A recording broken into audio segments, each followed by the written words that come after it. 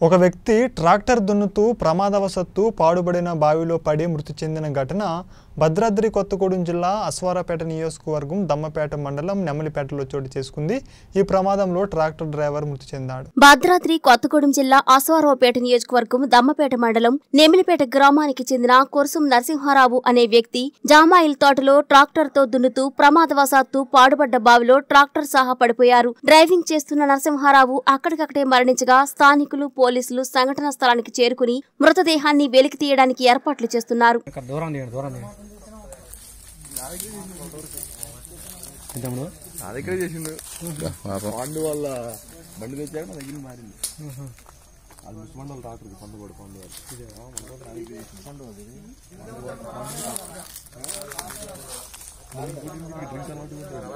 పండు